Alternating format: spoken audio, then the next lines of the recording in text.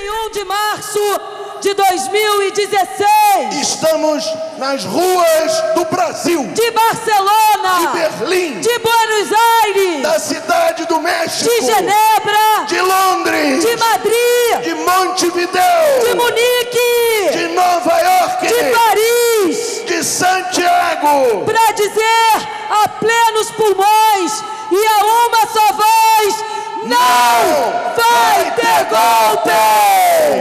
Não vai ter golpe! Queríamos chamar aqui uma pessoa muito especial para fazer uma saudação, que é o João Vicente Goulart, filho do João Goulart. Meus caros companheiros, companheiras do Brasil, lutadores pela democracia e pela liberdade. Hoje, para mim, 31 de março, é um dia que está na memória, porque foi esse dia que depuseram o presidente João Goulart, há 52 anos, que lutava em praça pública pela democracia, pela liberdade e pelas reformas de base, até hoje não realizadas nesse país. Me dói no coração, me dói no coração que estejamos vivendo momentos, momentos parecidos com 1964.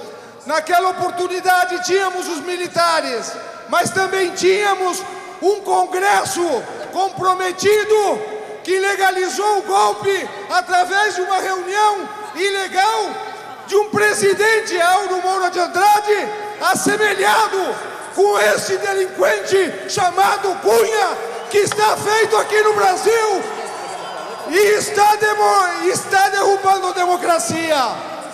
Sinto realmente uma tristeza imensa do que pode acontecer.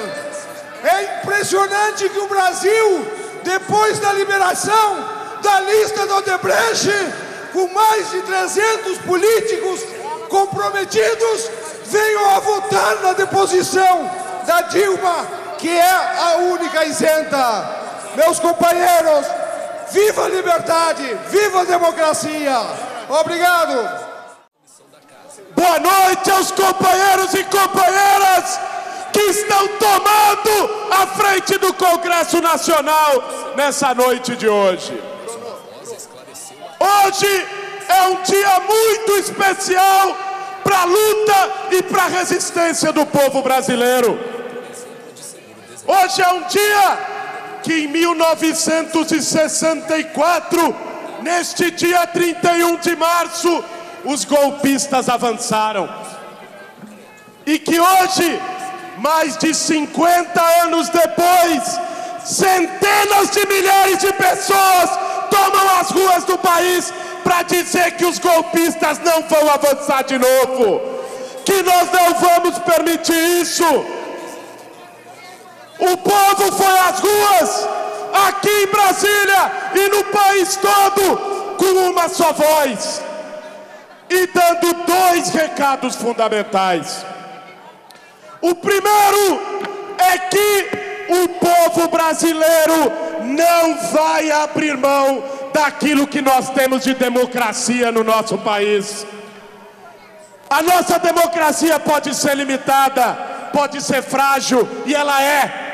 Mas mesmo essa democracia frágil e limitada, estão querendo tomar da gente esse bando de golpistas sem vergonha que está querendo fazer o golpe desfilar no Brasil. Deixamos claro aqui hoje, em Brasília e em todo o país, que esse golpe não passará. E também é importante que a presidenta Dilma, que foi eleita legitimamente, olhe para essa manifestação de hoje e veja que hoje aqui, neste gramado do Congresso, não tem empresário Aqui eu não estou vendo banqueiro. Aqui eu não estou vendo a elite desse país. Esse povo que está aqui, presidenta, este povo que avanço nos direitos sociais, este povo que está aqui, é para ele que a presidenta tem que olhar no momento de governar. Este povo nós precisamos dizer: não quer ajuste fiscal, não quer reforma da Previdência e não quer políticas antipopulares. Esse povo não aceita pagar a conta da crise e diz aqui em Alto Bom Som que quem tem que pagar a conta da crise nesse país é o andar de cima, são os sonegadores, é com taxação de fortunas, são eles que precisam pagar a conta. Agora, é importante hoje aqui nós estarmos na frente desse Congresso Nacional. Isso é simbólico, porque 52 anos depois do golpe militar, que fechou esse Congresso, uma parte deste Congresso hoje quer ser autora de golpe, quer fazer golpe, e isso é inadmissível. E o nosso recado vai ficar aqui muito claro. Um processo presidido por um bandido que nem Eduardo Cunha não tem legitimidade. Eduardo Cunha ladrão, não tinha que estar tá presidindo a Câmara, tinha que estar tá na papuda preso pelos seus crimes e pela sua corrupção. Isso precisa ser dito aqui. Fora a Cunha!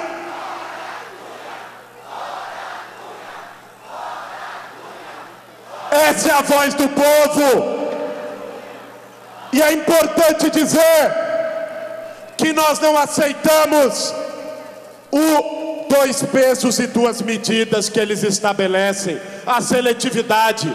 E até dizer para a polícia militar que está aqui, que trata pão de ló os coxinhas quando vem se manifestar aqui na frente, que libera metrô, que dá flores, que tira selfie e que hoje barrou dezenas de ônibus de trabalhadores que vinham para este ato. Isso não pode, isso não dá. Eles estão jogando com a intolerância, eles estão brincando com fogo, e é este recado que eu quero aqui para concluir essa fala, dizer e deixar claro aqui. Este jogo de intolerância, de agredir quem está vestido de vermelho, covardemente, porque aqui não vem, né? Agride sozinho.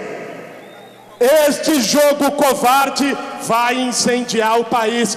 Parem enquanto é tempo. Parem enquanto é tempo com essa covardia que vocês estão construindo no Brasil, essa elite golpista. E é importante que a gente diga isso de forma muito clara. Este golpe que estão conduzindo não passará, não passará. E eu peço aqui para os companheiros e companheiras que estão fazendo essa, esse gramado de todas as cores, porque aqui tem negro, aqui tem negra, aqui tem povo da periferia, aqui tem gente de todas as cores e origens. Peço que vocês repitam comigo. Eu vou falar dos golpistas e nós vamos gritar todos em coro: não passarão. Fiesp! Parlamentares golpistas! Rede Globo! Que ouçam este recado. Vocês não passarão, haverá resistência, haverá luta, e se seguirem nessa inconsequência, vão incendiar o Brasil. Parabéns a todos e todas que vieram para essa luta hoje. A nossa luta não para, não vai passar esse golpe e vamos continuar nas ruas por direitos sociais. Obrigado. Obrigado você, Guilherme Boulos. Agora eu vou pedir um grito de guerra de todo mundo juntos comigo. Zumbi, Dandara. Antônio Conselheiro, na luta por justiça somos todos companheiros. Zumbi, Dandara, Antônio Conselheiro, na luta por justiça somos todos companheiros. Eu vou chamar a companheira Dandara. Da Convergência Negra. Salve, salve, companheirada de luta. Tá bonito e tá grande esse nosso ato do dia 31. É muito importante dizer que esse ato tem um significado histórico para os movimentos sociais e, em especial, para o movimento negro. Foi há 52 anos atrás que os fascistas deste país implantaram o regime militar. E a gente está aqui para dizer mais uma vez que não vai ter golpe e vai ter muita luta do povo brasileiro. Quando a gente olha para o lado e vê que aqui estão as mãos e os pés calejados que constroem esse país, nós não temos dúvida de que a nossa luta é muito maior e de que nós venceremos. Nós estamos aqui para dizer, em nome de mais de 70 entidades e organizações do movimento negro, que os setores que marcharam no dia 13 aqui em Brasília e que defendem o impeachment são os mesmos setores que escravizaram os negros e os índios desse país há mais de 500 anos atrás. São os mesmos setores que lutam por uma política que extermina a juventude negra da periferia são os mesmos setores que no ano passado barraram as questões de gênero dos planos de educação. São os mesmos setores que tentam emplacar no Congresso Nacional a redução da maioridade penal. E nós sabemos que reduzir a idade penal não é a solução para a violência que nós vivemos no Brasil. E é por isso que nós marchamos os quatro cantos do Brasil para dizer que nós vamos combater toda e qualquer discriminação étnico-racial, que vamos construir um país livre do racismo, do machismo e da homofobia. Esse não será o país do ódio. Se muito já foi feito, companheiros e companheiras, mais vale o que será, porque nós somos acostumados com conjuntura adversa, e quando eles nos jogam aos leões, nós voltamos é com colar de dentes mais uma vez gritar para os quatro cantos do Brasil que racistas, fascistas não passarão. Racistas, fascistas não passarão. Racistas, fascistas não passarão. Salve, salve, companheirada! E agora eu tenho a honra de chamar aqui para fazer a sua fala, representando o partido que mudou a cara do Brasil, o Partido dos Trabalhadores, o senador da República, companheiro Humberto Costa, senador do Pernambuco. Boa noite, companheiros e companheiras. Hoje é um dia muito importante para nós celebrarmos a nossa memória e pensarmos o futuro.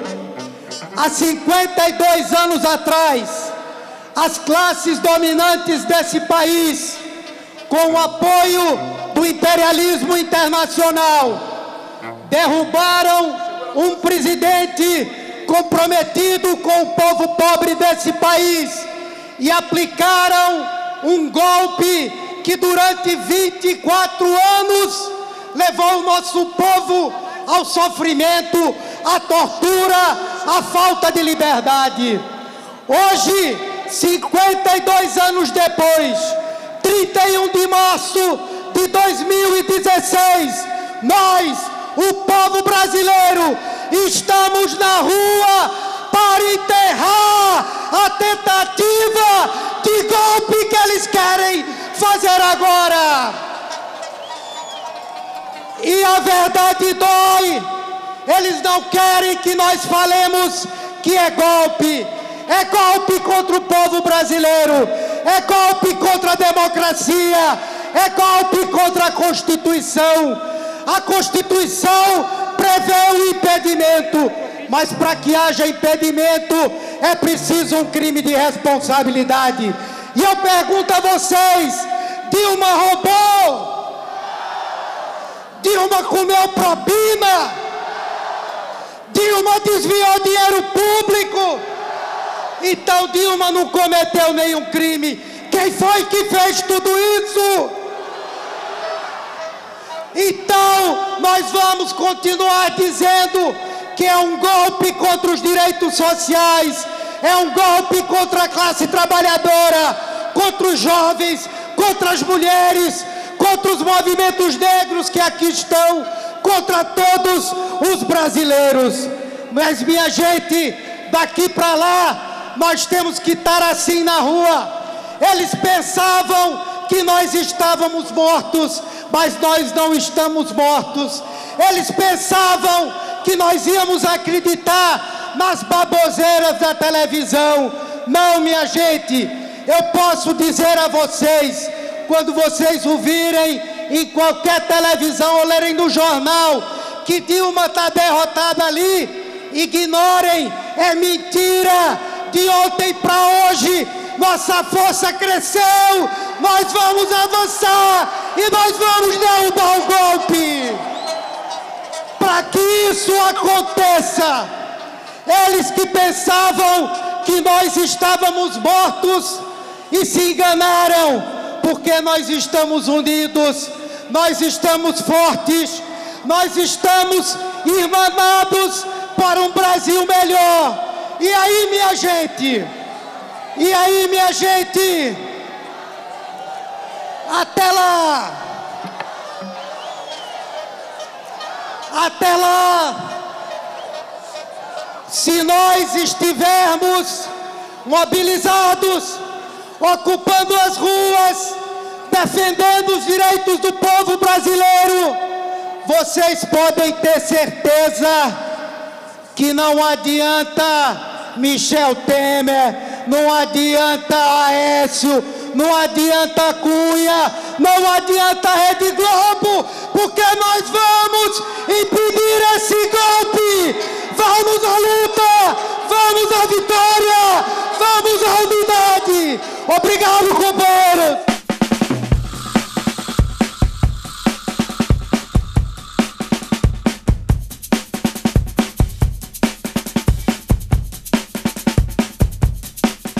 Boa noite, companheirada. Boa noite, lutadoras e lutadores do Brasil. Um boa noite para as mulheres. Um boa noite para as mulheres. Boa noite para os homens. Boa noite para todo mundo aqui que vai impedir que a Globo dê o golpe no Brasil. Companheiros, hoje, há 52 anos de um golpe militar que mudou a vida do Brasil, atrasou a nossa vida em 100 anos. Hoje, a Globo, a nefasta Globo, quer provar para a população brasileira que não é golpe. O que está acontecendo agora é impeachment constitucional. Pois vamos ver, em 64, os golpistas também diziam que não era golpe, era revolução. Vocês lembram disso? Portanto, em alto e bom som, vamos deixar muito claro para o Brasil que em 64 era golpe e que agora, em 2016, não vai ter golpe. Não vai ter golpe. Não há nenhum motivo para a presidenta ser impeachmentada. Se não há crime, é golpe. E isso que faz o mundo inteiro reclamar contra o golpe no Brasil. Nós ganhamos essa batalha. Estão acontecendo manifestações como esta no mundo todo, no mundo inteiro. No mundo inteiro clamando por democracia no Brasil. Então, gente, nós precisamos continuar unidos na resistência. E vocês sabem quantas pessoas hoje já se manifestaram contra o golpe no Brasil inteiro? São 200 mil em Brasília e 800 mil no Brasil inteiro. 800 mil pessoas no Brasil se manifestando contra o golpe. E não adianta a direita querer nos enganar, nós trabalhadores. O golpe não é contra Dilma, o golpe é contra os direitos dos trabalhadores. Eles querem dar o golpe porque eles querem acabar com a carteira assinada, eles querem acabar com as férias, o 13 terceiro salário, eles querem diminuir o valor que o salário tem no PIB, eles querem acabar com os sindicatos, com o movimento organizado, querem instaurar a ditadura do capital e da toga no Brasil e do poder da mídia. Não é contra o governo Dilma, nós também achamos que o governo Dilma tem que melhorar. Nós não concordamos com essas políticas econômicas de retirada de direito. Nós achamos que nós temos que ter uma política econômica que fomente o crescimento, o crédito, para gerar emprego para o trabalhador e para a trabalhadora. Agora alguém aqui acha que esses golpistas vão fazer isso? Pelo contrário, olhem, olhem o, o, o, a proposta econômica do PMDB a proposta econômica dos golpistas é de tirar direito do povo brasileiro. Qual é o nosso papel? Isso vocês não podem esquecer jamais. A discussão é nas ruas. Nós conseguiremos parar o golpe nas ruas, mas fundamentalmente ali no Congresso Nacional. E aí sabe o que nós temos que fazer? É pressionar cada deputado e deputada desse país, dizendo que quem votar pelo golpe é golpista e nós vamos denunciar a cara deles nos postos do Brasil inteiro, em todas as redes sociais. Nós vamos deixar claro que quem votar pelo impeachment é golpista. E para o Temer, isso é uma das coisas mais levianas que eu já vi na nossa vida.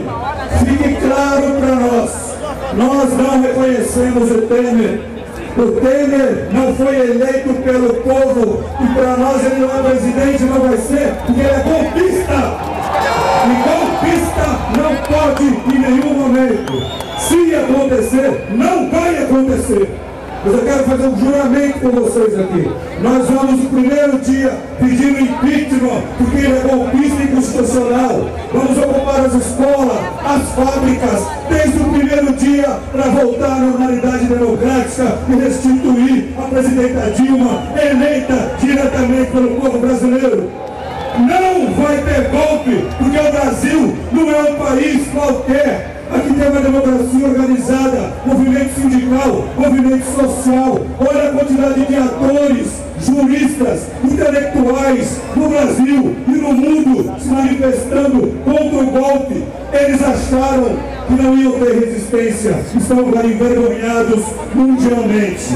Então nós precisamos continuar ganhando as ruas não precisa a, a CUT, a CTB, a Frente Brasil Popular, a Frente Povo Sem Medo, convocar atividade. Cada um de vocês é lutador. Convoca atividade na sua casa, no seu sindicato, na sua sala de aula. Manifeste-se com dois, com três, com mil, com quinhentos. Cada um de vocês é quem vai impedir o golpe. Eu tenho que estar na rua, gente, de hoje até a malfadada votação. E se tiver votação, eu quero dizer que nós vamos ocupar Brasília. Eu quero ver qual é a golpista que vai ter coragem de nos enfrentar.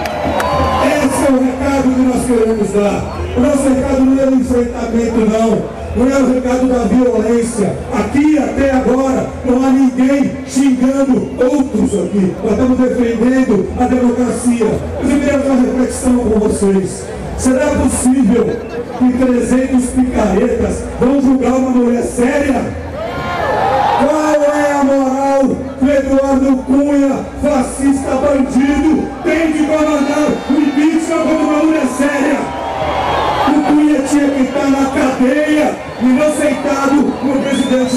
Câmara defendendo o indefensável. Então ele e todos aqueles e ousarem acabar com a normalidade democrática, o Estado de Direito, nós vamos defender a democracia. Nós aqui estamos do lado certo e não permitiremos que isso aconteça. É todo dia estado de alerta, Assembleia permanente, enfrentando os golpistas na mídia social, no dia a dia, nas ruas, porque o Brasil é nosso e nós não vamos fazer porque ele seja entregue para golpistas.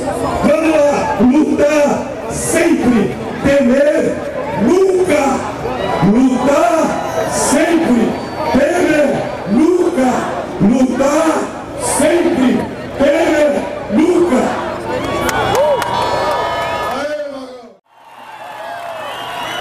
Eu vou só contar uma história para vocês. Eu não podia deixar de vir aqui contar. Em 1950 eu fiz 18 anos. Eu fiquei adulto e passei toda a metade do século adulto prestando atenção no que estava acontecendo no Brasil. Eu escolhi porque eu achava que era o lado certo para viver. E vim vivendo achando que era o meu lado certo, estou convencido que era. Do outro lado estava o lado que não era o lado meu. Eu não confiava nele. Era o lado que eu achava que era o lixo da história. E aí eu chego aqui agora, estou vendo o que está acontecendo, e essa, todas as pessoas, todas as pessoas que estão ao lado do impeachment são aquelas mesmas que eu vi ao longo da minha vida, na minha história. As mesmas. Então, eu não podia, eu que sempre me comprometi com a história do Brasil, não podia vir aqui para dizer exatamente o que eu ouvi do Bolsonaro. Eles não passarão.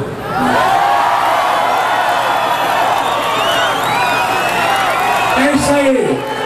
Um beijo, muito obrigado. Essa manifestação. Aqui não tem ninguém para sair na televisão. Aqui está todo mundo que tem fé no que crê. Entendeu? E é com essa fé que nós vamos descer. Tá.